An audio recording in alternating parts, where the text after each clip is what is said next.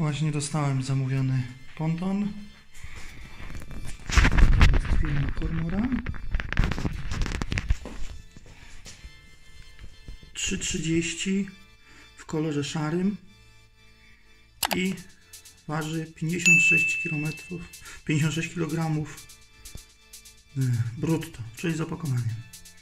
Teraz będę rozpakowywał i zobaczymy. Opakowanie wygląda właśnie mocno chińskie, a nie, że jest to produkowane w Polsce. Ale wszystko się zaraz okaże.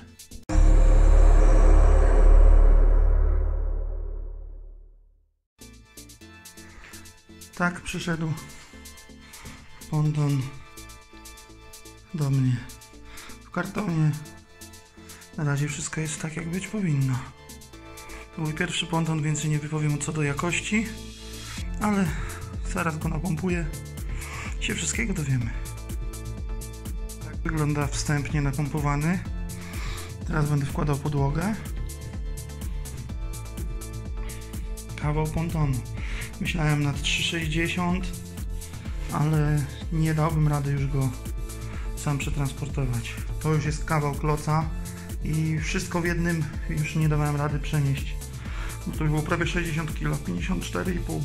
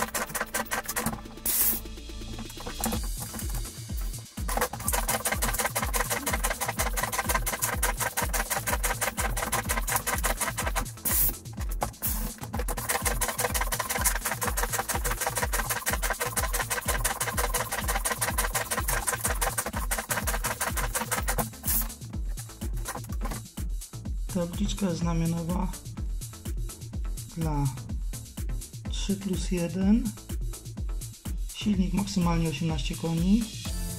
Maksymalne obciążenie 470 kg wyprodukowany w Cormoran Marine w Chinach.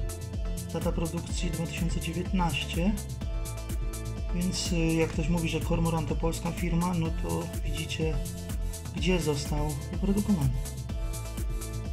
Pawęż wygląda w ten sposób. Są takie plastikowe wzmocnienia. Ładnie wyklejone. Wzmocnienie na silnik i tabliczka znamionowa.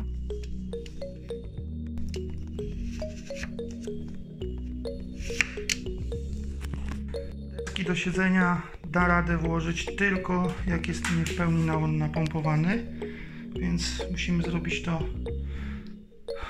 po częściowym napompowaniu pontonu.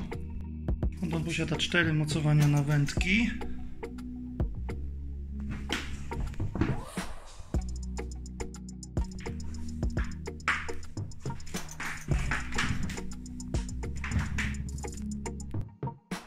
Wiosła mocowane są w takiej tulce. I tutaj w środku jest yy, mosiężny wkład. Więc nie jest to tylko plastikowy badziew ale też powinno mieć jakąś tam wytrzymałość. W razie gdyby się zgubiło to można tu normalną nakrętkę nakręcić albo motylka. Tak wygląda gotowy ponton Cormoran 330 DD aluminiową podłogą Podłoga jest prawie cała aluminiowa, tylko ten trójkąt na dziobie jest z kompozytu jakiegoś drewno podobnego, czyli to jest drewno nasączone czymś. Tam z przodu widać dziurę do pompowania kilu. Złożenie najpierw trzeba wykminić sposób. Deski są nieopisane, ale ostatnia ma takie wycięcie, jakby woda stała, aby można było ją spuścić. I to by było na tyle z unboxingu i pierwszego montażu pontonu. Dzięki za oglądanie. Zapraszam do subskrypcji i do lajkowania, łapki w górę i zapraszam na następny film.